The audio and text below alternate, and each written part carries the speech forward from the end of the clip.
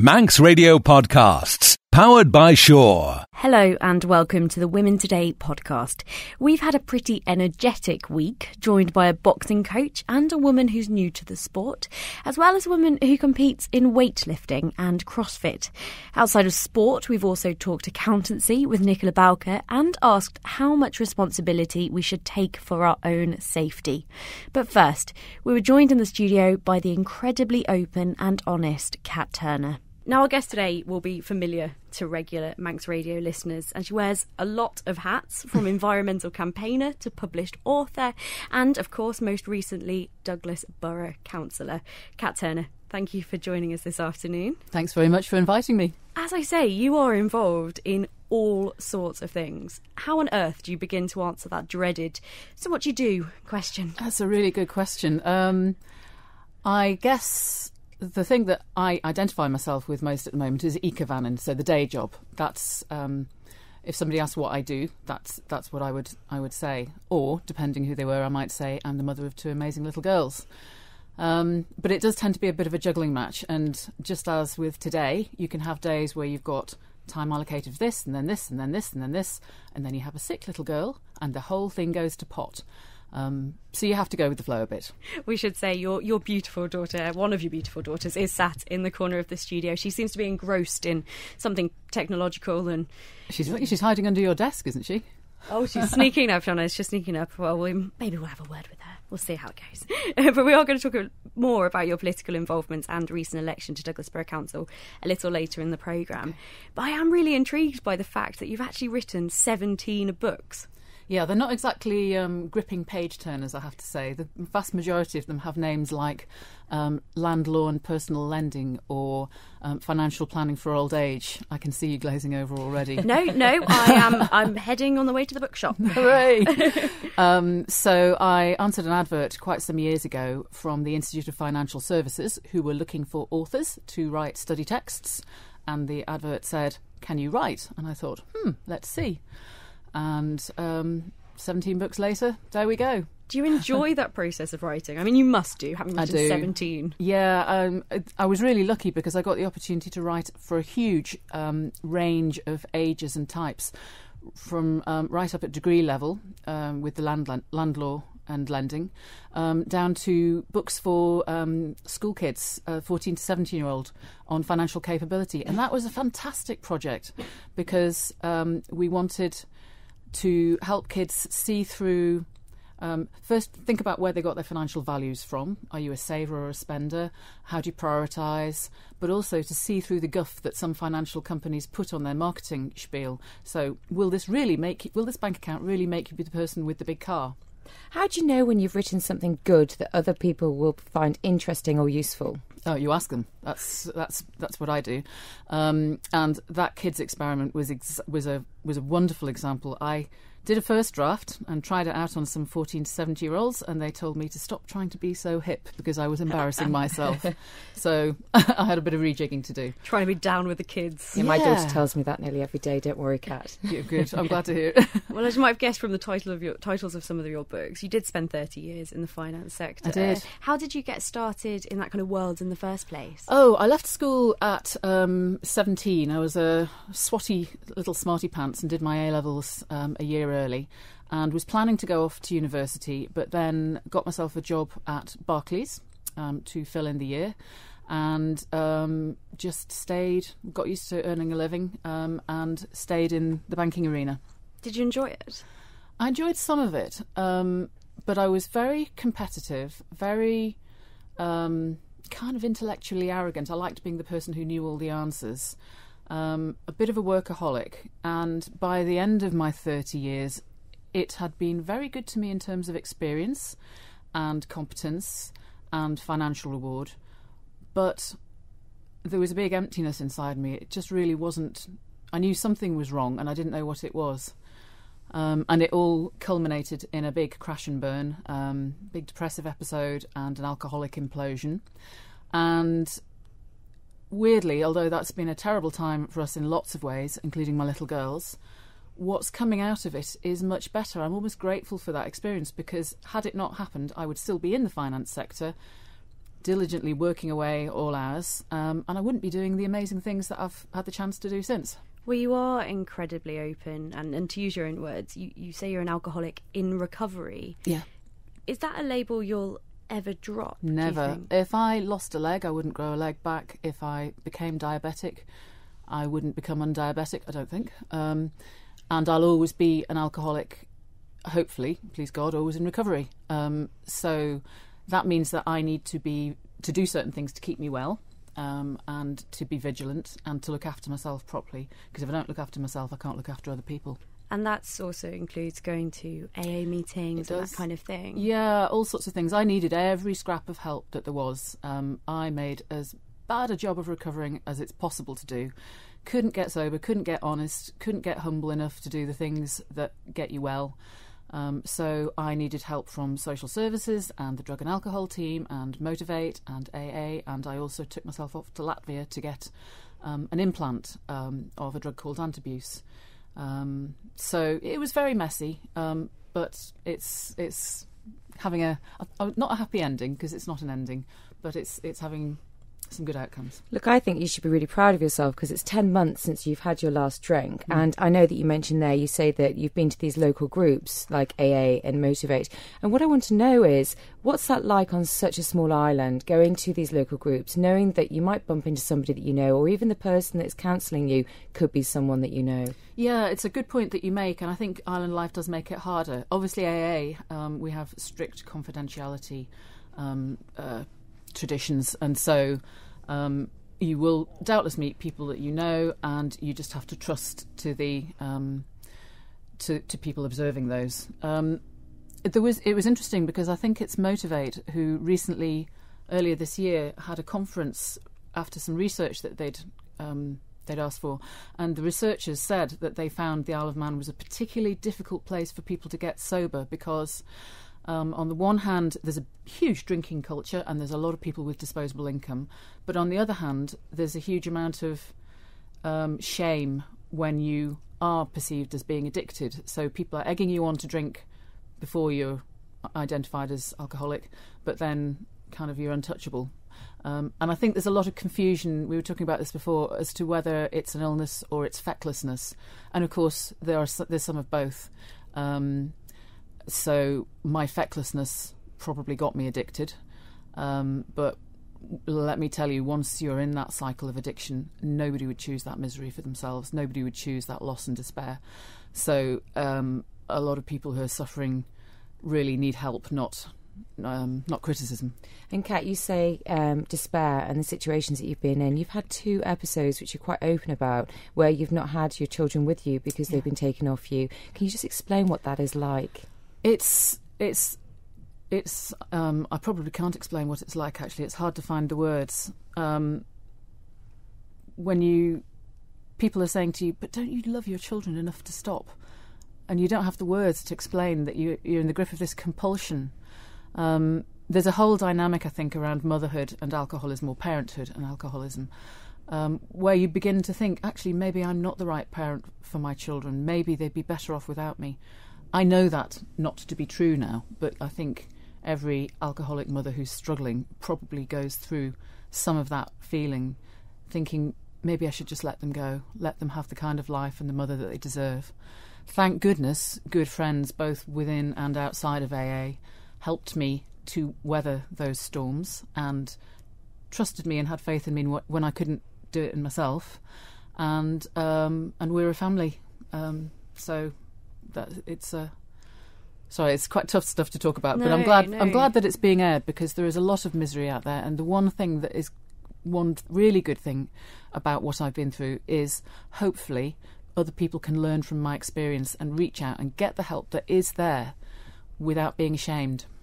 Now, should we take the Barbies and dolls away from young girls and replace them with Lego and Meccano? Well, one of Britain's top female scientists thinks so, saying girls should stop playing with dolls and make way for more creative toys. Dame Athene Donald from Cambridge University thinks girly toys, in inverted commas, are holding back girls who might otherwise go on to study science and engineering. She says we need to change the way we think about boys and girls and what's appropriate for them from a very early age. Does the choice use of toy matter? I believe it t- does. She also says we introduce social constructs by stereotyping what toys boys and girls receive from the earliest age. Girls' toys are typically liable to lead to passivity, combing the hair of Barbie, for instance, not building, imagining, or being creative with Lego or Meccano. She's also criticised schools for giving pupils work experience placements that reinforce gender stereotypes. But, and I think you might have heard Joe slightly disagreeing, but so does parenting psychologist Dr. Amanda Gummer. Children need to be able to play with a wide range of toys without stigma. So if girls want to play with Lego, great, let them play with Lego. If boys want to play with dolls, they'll learn different skills, they develop differently according to what they play with. But to say that playing with a Barbie prevents children going on to be engineers, I think there's no evidence for that at all. And psychologist Linda Papadopoulos says there are other factors which affect career choices. The issue is, and this is what psychologists have known for years, that same sex schools, we know that girls tend to do a lot more male orientated subjects. So they'll do a lot more of the STEM subjects. One of the reasons cited for this is that they feel more able to take chances and not be embarrassed in front of boys, which I find very telling. So, what do you think? Should we be taking away the dolls and instead giving young girls Lego to play with? You can text 166 177 to let us know your thoughts or email women today at manxradio.com. But, Joe, I heard you scoffing. You've obviously got some thoughts.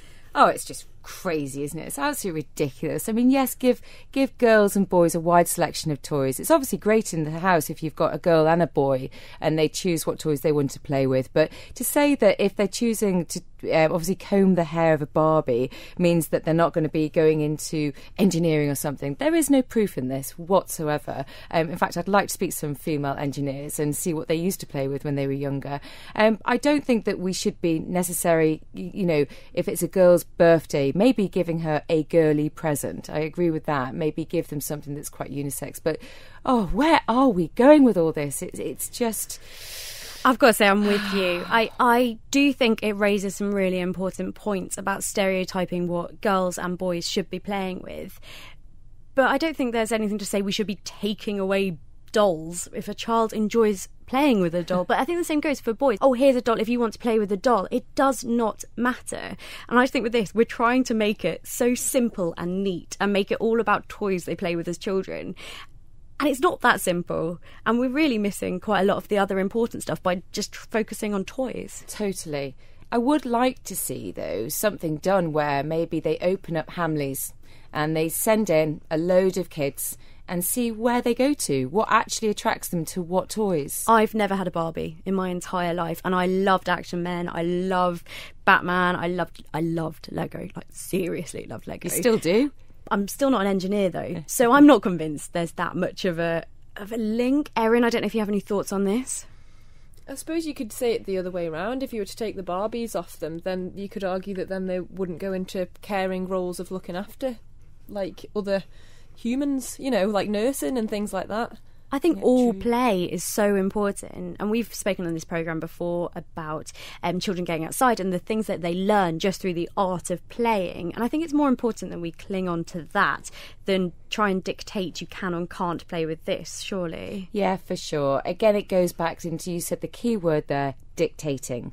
And that's something that we're seeing far too much, isn't it, in this day and age? And we need to stop dictating and wrapping up in cotton wool and, and let kids just decide what they want to play with. But also, as a parent, if you do see your son playing with a doll, don't get all worried about it. Let them, because there's plenty of doctors out there, and maybe that's how they start off their career. Who knows? to play devil's advocate, though, we do often hear about the fact that not enough women are going into the sciences or into engineering. And that is something, though, that I do think we need to address. But I, I'm just not convinced that it's toys. No, definitely not. And I went to a single sex school because I went to boarding school where it was a girls' school and we didn't have any of these subjects that we were able to do because it was very much concentrated on what girls were supposed to be obviously educated on. We didn't have things like carpentry, you know, um, whereas if I went to a mixed educa- um, mixed um, co-ed school, yeah, that I would have actually been offered those and perhaps been able to take it up. So I think there is something there that if you do go to a single sex school nowadays, they should be offering a wider range of subjects to maybe choose from. Well, the psychologist there was saying that single sex schools can benefit girls because they're not put off from trying and possibly failing at subjects in front of the boys. Do you think that's true from a single sex school point of view? Possibly, but they are they aren't offered. You know, a lot of these schools don't offer these types of subjects. So that's a fail in the first place. Um, but also, girls are really competitive against each other, to be fair. Um, you know, and like we were saying about the gyms before, in a single sex school, yes, in the classrooms, I. I can't see that, that would be apart from, you know, maybe you fancy a boy and actually, you know, you're wanting to look good in front of him. Apart from that, the competition's still pretty high in a single sex school. Women have done it for as long as the sport has existed, but there are still many people who don't think it's right, and at some point in history, most nations have banned it.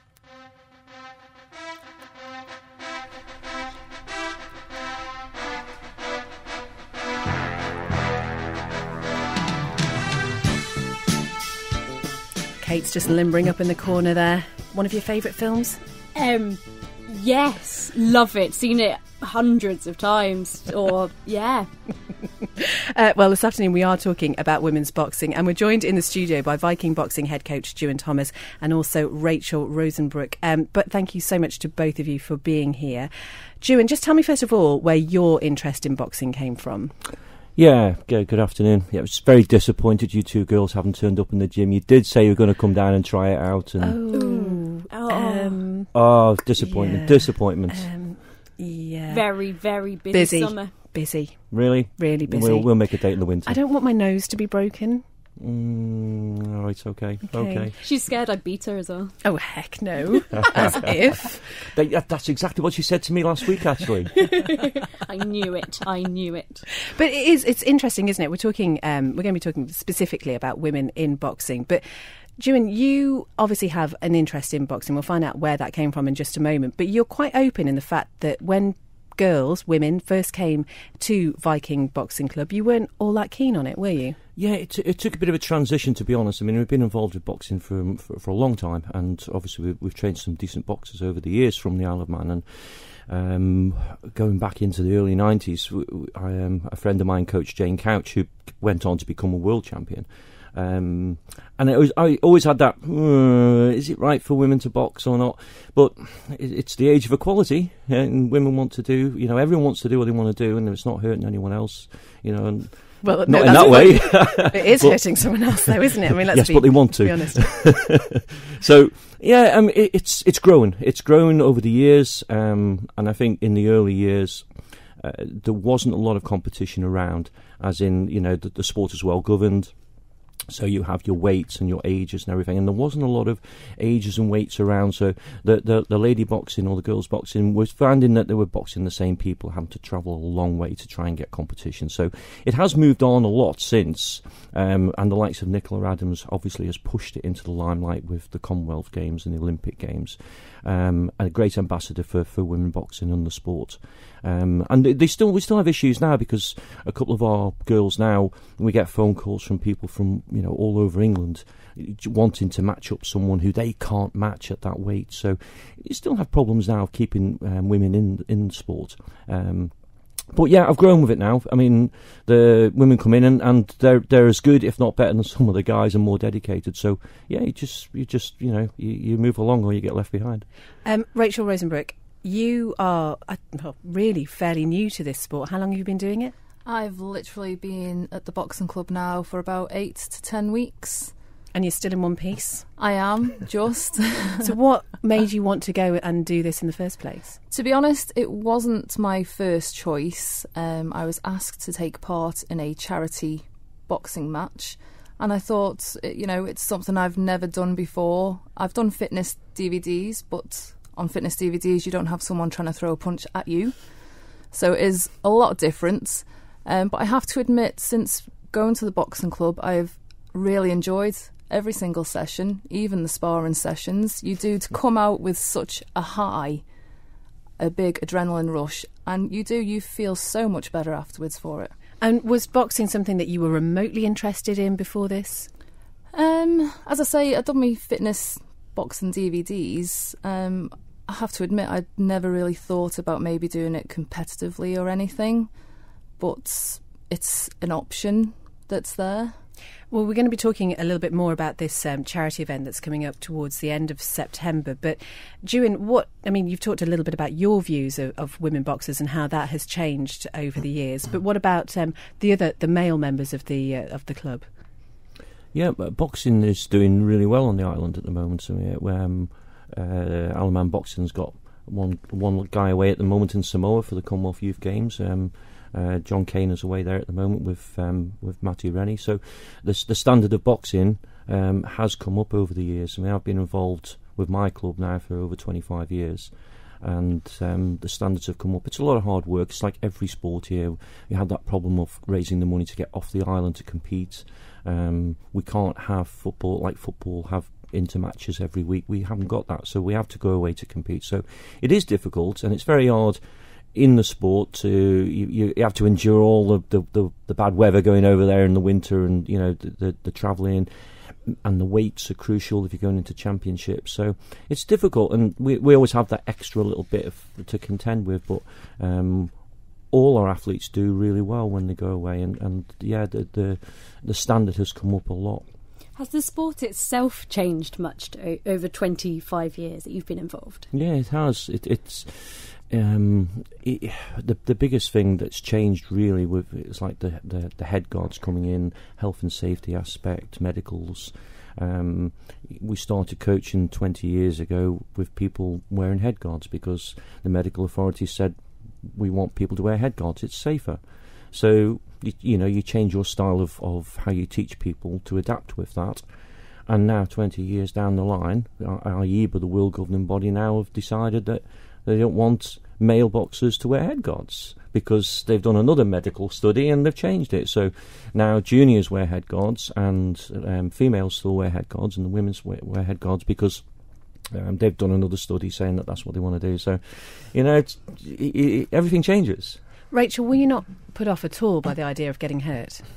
To begin with, yes. Um, but I have to admit, the guys at the gym, they will not put you in the ring unless they think you are 100% ready to have a little sparring session with someone.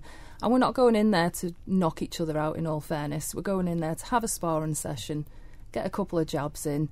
And to be fair, once you get over that first initial punch. it's actually not too bad after that. um, Kate had a question about the ring, didn't you, Kate? Yeah.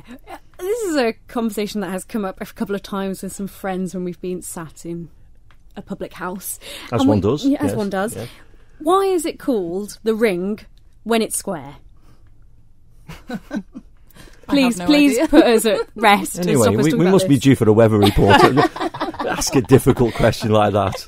oh, it's oh, going to well. carry on now. Yeah, let it carry on. It gives you some oh. conversation, doesn't it? Let it carry on. I think that was a point to you, though, though, Kate. Yeah, you got your first jab in. Yeah, all right. We've got time no to go. Yeah, we'll get evens. Women Today, brought to you by CityWing.com for your next flight away. And we're asking now how much responsibility we need to take for our own safety. It's because the singer Chrissie Hynde has made headlines this weekend. You may have seen some of the things she said. Essentially, she suggested that women who dress provocatively could attract a man to rape them. The Pretender star says she blames herself for being sexually abused when she was 21. And speaking to the Sunday Times about her book Reckless, she recalled the incident when she was picked up by a motorcycle gang who promised to take her to a party, but instead took her to an empty house and sexually assaulted assaulted her. She said, If I'm walking around in my underwear and I'm drunk, who else's fault can it be? If I'm walking around and I'm very modestly dressed and I'm keeping to myself and someone attacks me, then I'd say that's his fault. But if I'm being very leery and putting it about and being provocative, then you're enticing someone who's already unhinged. Don't do that. And she added, You know, if you don't want to entice a rapist, don't wear high heels so you can't run from him. If you're wearing something that says, come and me, you'd better be good on your feet.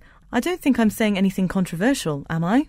But campaigners say the ill judged comments are harmful to victims, and criminologist Charlotte Barlow thinks she is wrong. This kind of idea can be very damaging for female victims of sexual violence. And this is a part of a wider issue that we call rape myths, so such as she was asking for it, she was too drunk, or that she was wearing provocative dress. And ultimately, this holds the female victim. This kind of narrative reinforces the idea that female victims are somehow responsible for their actions or that they put themselves in that situation. And what's key here is that no victim of rape should be held responsible.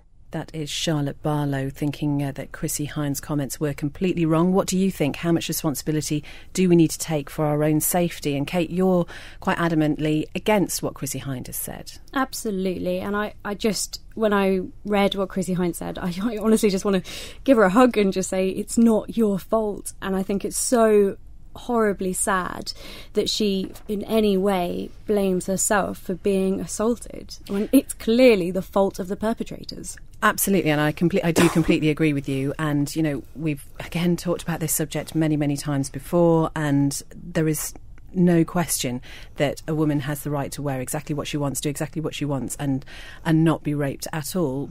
But I wonder if there is some truth in what she's saying. I'm wondering if actually people do need to think a little bit more about their own actions, about how those actions might be perceived. Ideally, there would be nobody in society who would take advantage of you, but we know that's not the case. So surely what she's saying is, you know, be just a little bit more responsible.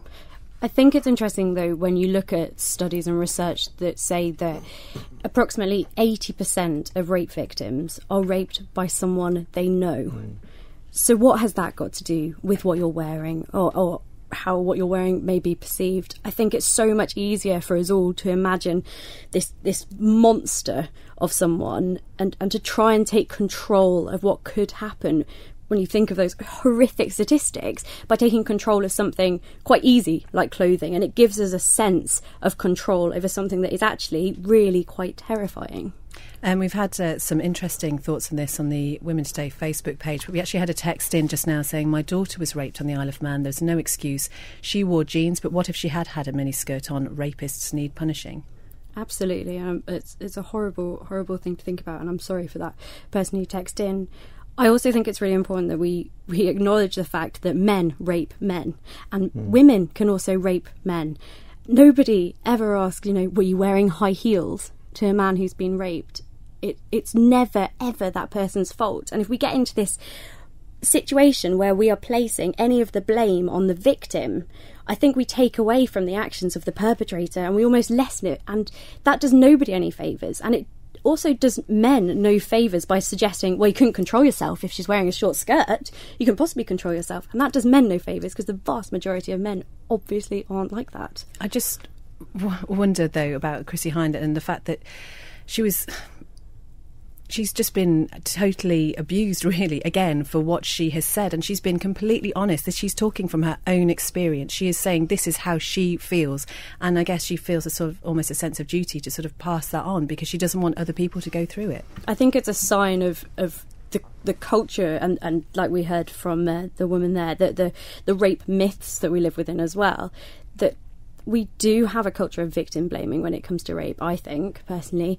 And I think it's it's a sign that she's taken this on, and I think it's horrific that she's been kind of shouted down and uh, called everything under the sun for kind of saying women need to take control of themselves from her own personal experience. I don't think that's the way to go about it, but clearly, she's been through something so traumatic that she does need to talk about it. And I still think that at the the essence of what she's saying, that people do need to take responsibility for themselves, is actually quite a sensible measure. You know, we wouldn't I don't know, we wouldn't leave our house unlocked and just expect it not to be burgled. We know that we have to take measures to protect ourselves. And I think if that's what she's saying, then that is quite a responsible attitude to have. Yes. But I think we need to look deeper at what actually constitutes or what, what can lead to rape. And I think by simply going, oh, well, you didn't protect yourself, we, we stop ourselves from doing that further research and looking into it further and actually looking at the kind of essence of it rather than um, yeah, just not going deep enough. Uh, and Thomas, any thoughts on this? Yeah, I, I think it's it's as much about being aware of your surroundings um, as well and, and, who you're with.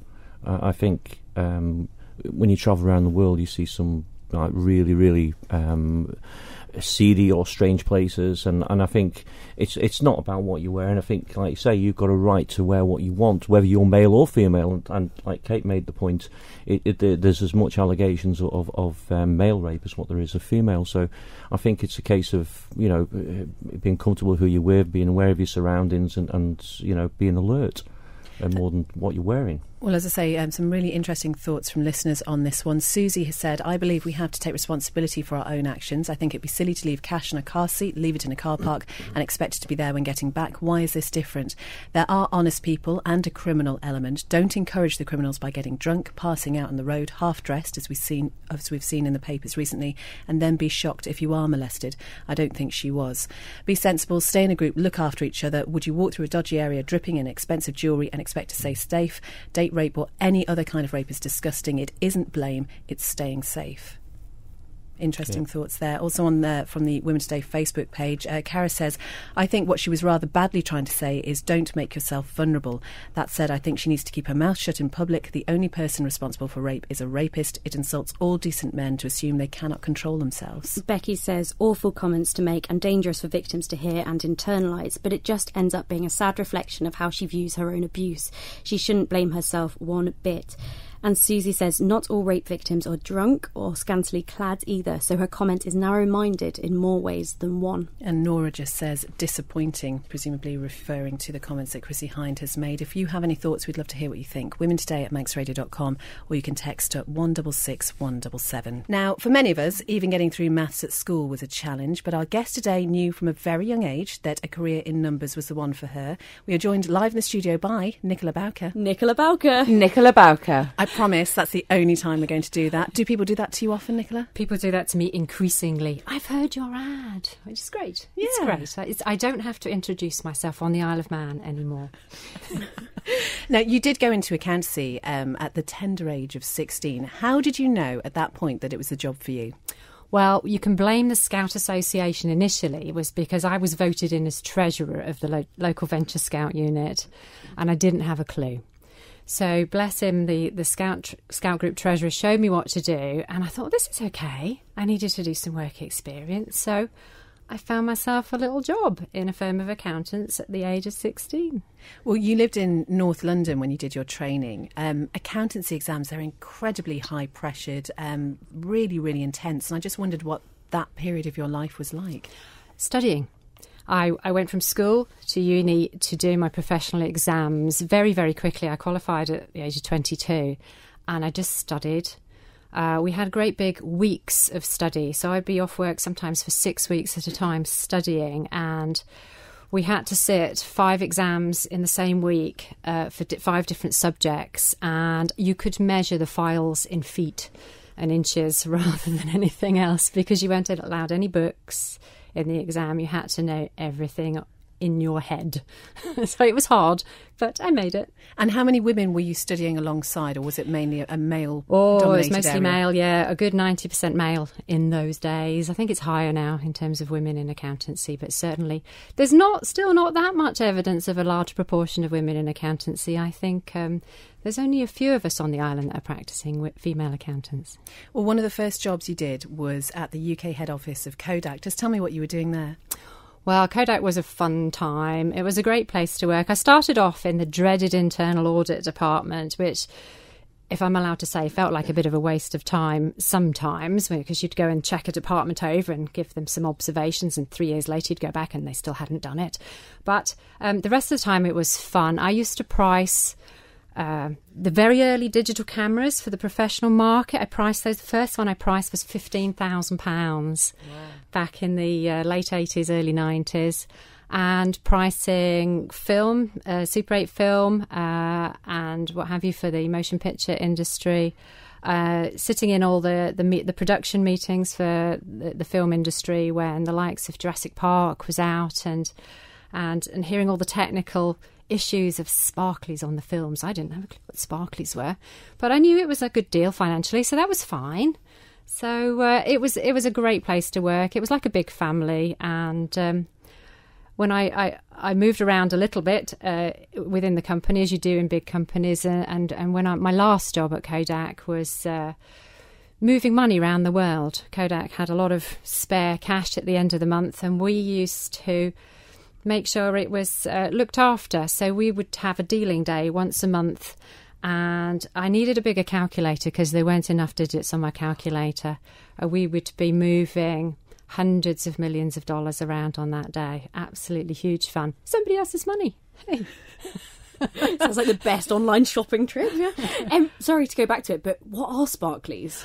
Well, if you look at a film and you see little, well, it looks like sparkles in the film. Oh, you know, you don't get it in digital, but in old-fashioned silver nitrate film, come back to silver in a minute. Um, there would sometimes be imperfections in the film which would cause a little white dot on the screen, and I couldn't see them. But trust me, the boss could see them.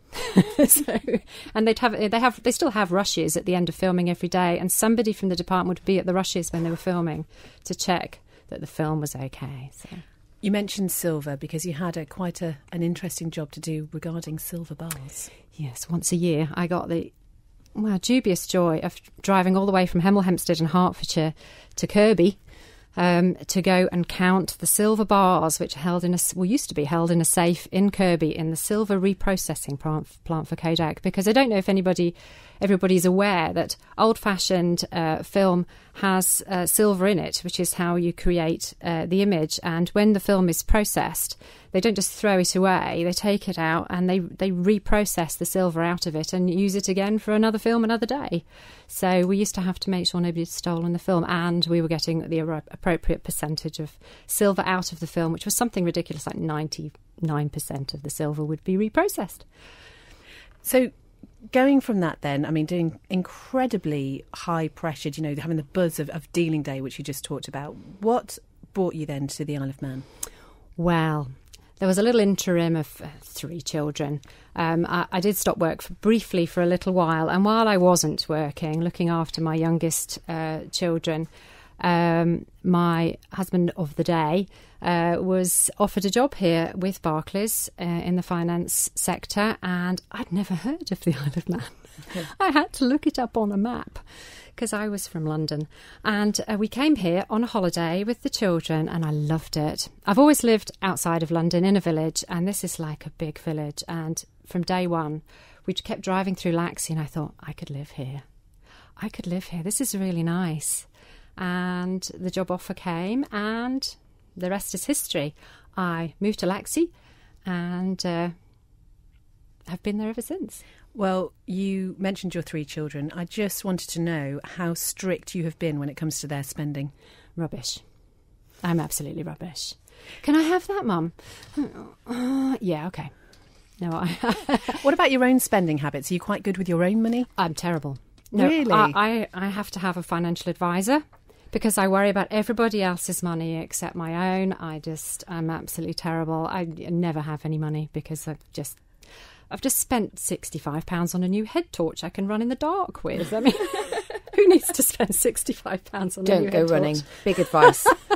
well, you have got the running bug there. You quite like running around I, the uh, hills of Laxey. I do love running. It's a, a, a recent rediscovery. I used to run at school at secondary school and gave it all up and have just recently rediscovered it. Um, much to the joy of my two dogs who get to run with me half the time. But yes, you can often see me running around Laxey, sometimes around the north of the island too. We were talking a little bit about the perceptions people have of accountants, and I think it's fair to say that you know you think accountant typically, as you as you said, you would probably think man, grey suit you dispel that completely, and it's quite deliberate as well. You would describe yourself as a very colourful person don't do grey. Don't do grey at all. No, very colourful. Um, in in what I wear, I, I, like to think that I'm not your typical grey, boring accountant. I certainly like to uh, treat all of my clients individually and talk to them in a, in a way that they will understand. Because who cares about accounting te- technical terms when they don't mean anything to you? So I try not to use them um, and make it easy for my clients. How does it feel that a lot of people try and hide things from you? Uh, I can spot those. you can try. and we're not daft. That suit really isn't a business expense. And neither was were all of those meals out in the evening. what type of person do you think should have an accountant? Do you think everyone should? Not everyone. People who earn a salary uh, day in, day out don't need an accountant. The People who tend to need an accountant are self employed run their own company, or have slightly more complicated tax affairs. They might have a large number of investments, they might have property that's rented out, they might have to fill out UK tax return as well as Manx tax return. Um, when you start getting into those sort of areas, quite often um, there are tricks we know, and the tax office won't tell you. So, uh, if you come and seek advice, even if you decide not to go for it, it's usually worth the conversation to make sure that you're not going to benefit from using an accountant, which you usually do, and most people do plump for using somebody to do that because there's more to life than filling out a tax return. Now, even just thinking about our guest today has made me exhausted. I think it's probably fair to say she's one of the fittest people who's ever sat in front of me in the studio, and she's certainly the strongest woman we've had. Can we just say, from an athletic point of view, being the fittest? I think woman. she's pretty fit as well. Erin Bonnet runs her own gym in Douglas with her husband Dan is, and is a fully qualified physiotherapist with her own practice too. She says she trains five days a week, with at least four of the days having both a morning and afternoon session. And as a couple, they're so into fitness, they even got married in their gym. Erin, I've got to ask you, did you walk down the aisle in sweatpants? no, I didn't. Although I did put some of my lifting shoes on underneath my dress for some photographs. Uh, you blow my mind. We're Carrying gonna- weights. Yeah. Walking down the aisle.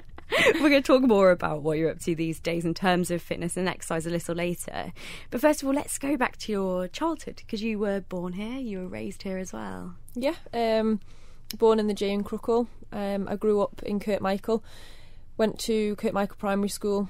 Then I went to QE2 in Peel. And how sporty were you when you were at school? Um, sporty, but I didn't specialise in anything particularly. Um, I liked running, but apart from that, um, just a little bit of everything really. Um, I didn't get into f- ladies football until um, I was about 14, 15, and that's when I started playing for the Ireland team. You played for the Ireland team, as you say, and you also represented the island at the Island Games. Yes. What was um, that like? It, it, well, it was cold and wet actually, very cold and wet. Um, I, I wasn't in the starting eleven. Um, I started when I was uh, f- I started football when I was fifteen and went to the Island Games that year. Um, so I, I got a couple of uh, I got a couple of games and I got an injury just before I went. Um, so that was a bit disappointing, but it was good, good, good experience. Talk me through then your further education because you went to Edge Hill University first of all. What were you doing there? Um, I went to Edge Hill University to do sports therapy. Uh, I wanted to be a physio. I was told in school that I wasn't clever enough to be a physio because I, I never got an A in school in anything. Um, and as far as I was aware, to get onto a physio degree, you need A grades. So I was advised to go down the sports therapy route because it was a lot easier to get onto a sports therapy degree. So um, I, I applied for that and went um, straight away. Didn't take a gap year, just went straight through from school. Do you think they were right, or do you think you, you could have given it a go then at doing physiotherapy straight away? Uh, well, I got a first class honours, so I made sure that my head of year was the first person to know about that. I'm sure you did. well, you did eventually study physio. You went to uh, Huddersfield University. How did it feel to finally do that thing you'd wanted to do for so long? It was good. It was um, to to get onto that. Um, I think having the first in sports therapy helped because it's quite a difficult course to get onto the postgraduate physiotherapy. So um, it was very different. I think I was actually shocked that I probably enjoyed the sports therapy more. Um, there was a there was a big side to physiotherapy that maybe I didn't consider um, before I went, and it was it was all the um, neurological side of things that was really hard to get my head around. Um, whereas really, I suppose the three years in sports therapy was was perfect for me. Um, I don't have any regrets about going and doing the physiotherapy, but there was a lot of placements in hospitals that I found quite tough. Um, you know, we were we were getting up at five o'clock in the morning and travelling from Huddersfield to um, York. Sometimes it was they were they were long train journeys, um, but it was all good experience, and I wouldn't change it now. What kind of student were you? Because I'm look, thinking back to my own university days. It was a lot of late nights and a lot of takeaways. And I can't imagine you sitting in front of me in your gym kit. I can't imagine you eating a takeaway, if I'm honest. Uh, no, I did. I did eat a takeaway, but um, I I generally would be um, partying all night, um, takeaway on the way home. But then I'd be up first thing, spinach omelette for breakfast, out for a run, and then back to drinking and spinach omelets. keep going, keep going. Well, you met your then boyfriend and now husband and moved to Manchester, where he was a firefighter, working in a, a really busy station. I just wondered what that was like for you to, to support him through that and to see him go off to, to fight fires, really. Yeah, it was hard, um, really difficult. It was when it was when I was at Huddersfield. Um, I was living in a studio apartment, and he was sort of living with me, and then travelling between Manchester and Huddersfield. Um, firefighting hours, he was working four days on, four days off. Um, so the four days off were great. Um, it was it was tough because I was kind of in Huddersfield by myself really when he wasn't there. Uh, a lot of my friends who were on the course with me used to travel in. So when he wasn't there, I was on my own a lot of the time really. So having him not there and knowing what he was up to at Gorton, which was Manchester's one of Manchester's busiest stations, was hard. It was always nice to have him home. Did your imagination kind of run wild, I guess, with the with Oh, yeah. what he was putting himself through? Yeah, and then he'd come home and tell me what he'd been doing, so that made it even more difficult. But um, it, he's uh, he he decided that um, you know we would open the the gym together, and uh, he was like a cat running out of his nine lives. So Time for a change of career, perhaps. Well, you worked first though in a ladies only gym. What was that like, and why do you think some women prefer that environment? Um, the whereabouts it was um, was in Farnworth in Manchester near Bolton. Um, so culture culture was a big reason really um, why why a lot of the ladies um, you know preferred to be in a, a ladies only gym. Um, a lot of the time it's confidence really. Um, people people would rather not have um, not have the males there in in the same gym. Although I've spoken to people and said that you know sometimes they feel quite the opposite really with having women looking at them and what they're wearing. I would say it'd be quite competitive, actually, Yeah. having women kind of even checking out what label is even on their attire that they're wearing Mm. as well. Yeah. How did it feel then when you made the decision to, to move back to the Isle of Man, open your own gym, and you you'd finally knew that was what you were going to do? It was almost a decision that we'd made overnight, really. Um, I planned on staying in England a lot longer. Um, I liked the fact that you could go to Asda at two o'clock in the morning, and um, f- for me, it was, you know, England was a, a big and better place. And uh, one day it finally clicked. And my mum and dad um, had a little cottage that they'd renovated and said, you know, the cottage is there if you want it. Um, and I just kind of took a step back and thought, what am I doing working, you know, for six pound an hour in Manchester um, with two degrees when there's a cottage waiting for me at home and bigger and better things to go and do. So um, we almost made the decision overnight, packed everything into the Fiesta, and uh, and um, yeah, got on the Ben-my-Chree that night really. And you knew what you were coming home to do. Yeah, we started looking. Um, we started looking at units uh, to to open our own place whilst we were away. But we thought the best thing to do is just to come over and see things for for real. And how long ago was that? We moved back in April 2012, and um, we started painting the walls of the unit in July 2012. So it was a fast move. And how are you enjoying being back home, being on the island now that you're kind of a grown up with your husband and your own business? It's good. It's it's perfect. Um, I love having the family nearby. Uh, my brother lives next door. Um, my other brother and sister and mum and dad all live in walking distance in Kirkmichael. So it's great being so close to everyone. And home's home. Always. Well, Erin Bonnet, thank you so much for being our guest today. Later in the programme, we'll be finding out more about the sports you compete in nowadays. But you are a competitive weightlifter, and I just wanted to ask, just to tease it a little bit, how much can you actually lift? Um, deadlift 130 kilograms. So that's where you lift it to your waist. And um, maximum weight above my head is 90 kilograms. That's pretty incredible, isn't it, Kate? I am gobsmacked. Can you do 5k? What, run it? No, like literally lift, Oh, it. so that I don't even know the lingo.